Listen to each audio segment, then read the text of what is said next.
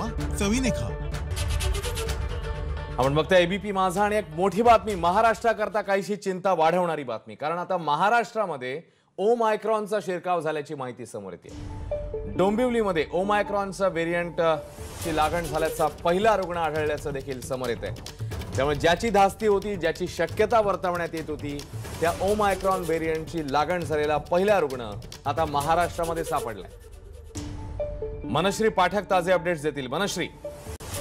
महाराष्ट्रासाठी ही निश्चितच चिंताजनक बाब आहे की ओ मायक्रॉनचा पहिला रुग्ण आता सापडलेला आहे महाराष्ट्रामध्ये आणि ज्या रिपोर्टची खरं सगळेजण वाट बघत होते त्या हो. चोवीस नोव्हेंबरला दक्षिण आफ्रिकेतल्या केपटाऊन शहरामधून दुबई आणि दिल्ली मार्गे तेहतीस वर्षीय तरुण हा आलेला होता. डोंबिवलीतला हा तरुण होता. त्या तरुणाचा कोविड रिपोर्ट हा पॉझिटिव्ह होता आणि त्याच्यात आता ओ मायक्रॉन हा व्हेरियंट सापडल्याचं प्रयोगशाळेच्या तपासणीतून सिद्ध झालेला आहे. हा नव्या प्रकारचा विषाणू आहे हे आपल्याला सर्वांनाच माहिती आहे. त्याच्यामुळे अधिक चिंताजनक बाब आहे. हो. मात्र त्यातल्या त्यात दिलाशाची बाब ही आहे की या तरुणासोबत जे पंचवीस सहप्रवासी होते त्यांची सुद्धा तपासणी करण्यात आली. मात्र ते कोविड निगेटिव्ह आहेत. इतकंच नाही तर या तरुणाच्या संपर्कात आतापर्यंत जितके लोक आले साधारणतः पस्तीस जण याच्या संपर्कात आले होते त्या सर्वांची अं, तपासणी केली त्यांचा शोध घेण्यात आला आणि त्यानंतर त्यांची जी चाचणी करण्यात आली त्या चाचणीतही ते कोविड निगेटिव्ह आहेत. त्याच्यामुळे या तरुणाच्या माध्यमातून ओमायक्रॉन ह्या व्हेरियंटचा प्रसार कितपत झालेला आहे याचा शोध तर डोंबिवली महापालिका आणि सोबतच महाराष्ट्र शासन देखील घेत आहे मात्र तुर्तास तरी ज्यांच्या ज्यांच्या चाचण्या संपर्कात आलेल्यांच्या केल्यात त्या निगेटिव्ह आहेत. ही एक त्यात दिलासादायक बाब म्हणावी लागेल. दरम्यान आणखी एका प्रवाशाची ओमायक्रॉन व्हेरियंट संदर्भातली चाचणी करण्यात आली होती. पुणे इथे ही चाचणी झाली होती जो साठ वर्षीय पुरुष प्रवासी हा झांबिया देशातून आला होता. त्यांचा अहवाल मात्र निगेटिव्ह आलेला आहे. त्यांच्यामध्ये ओमायक्रॉन हा व्हेरियंट आढळलेला नाहीये जरी ते कोविड पॉझिटिव्ह असले तरी सुद्धा.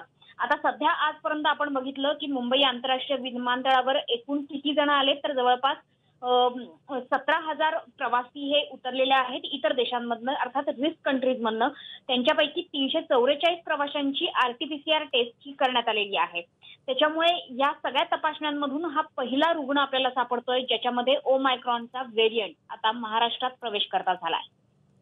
मनश्री काय काय लक्षणं काही बेसिक समोर आली आहेत का ओमायक्रॉन व्हेरियंटची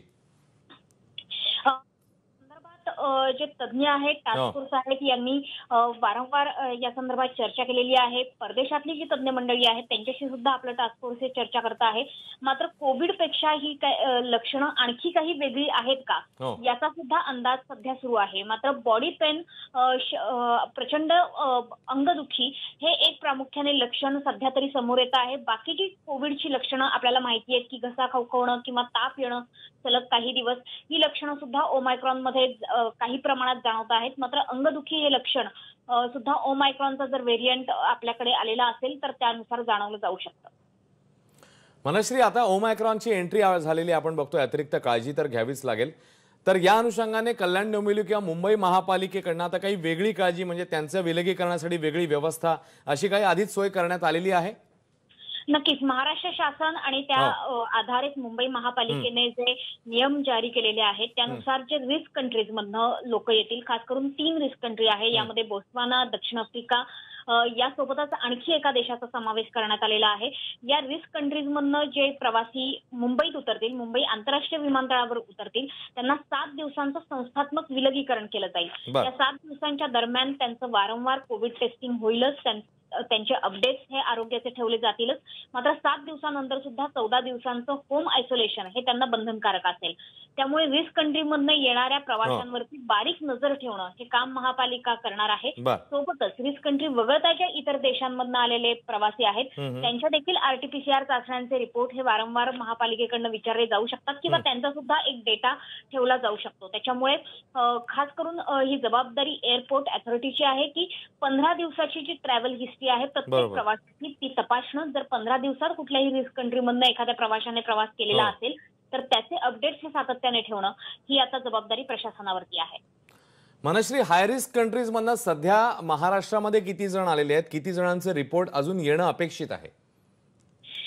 सध्या जर आपण आकडेवारी बघितली तर हाय रिस्क कंट्रीज मधनं जवळपास मी मगाशी सांगितलं तसं सतरा हजारांपेक्षा खरं तर वेगवेगळ्या देशांमधनं सतरा हजारांपेक्षा जास्त प्रवासी आलेले आहेत. त्याच्यापैकी मुंबईत उतरलेले जे प्रवासी आहेत ते साधारणतः शंभर आहेत. म्हणजे मुंबईतले ज्यांचे पत्ते आहेत. यांचे सगळ्यांचे कोविड रिपोर्ट हे आता करण्याचं काम सुरू आहे. यांच्यापैकी जवळपास दहा जण म्हणजे नऊ जण जे प्रत्यक्ष प्रवास करून आलेले आहेत आणि या नऊ जणांच्या किंवा त्यांच्यापैकी एकाच्या कॉन्टॅक्टमध्ये जे आलेले प्रवासी आहेत असे एकूण दहा जण हे कोविड पॉझिटिव्ह आहेत. मात्र अर्थात त्यांचे ओमायक्रॉनचे जे रिपोर्ट आहेत ते अजून प्रलंबित आहेत. मनश्री तुला मी थोडस थांबवतो. आपल्या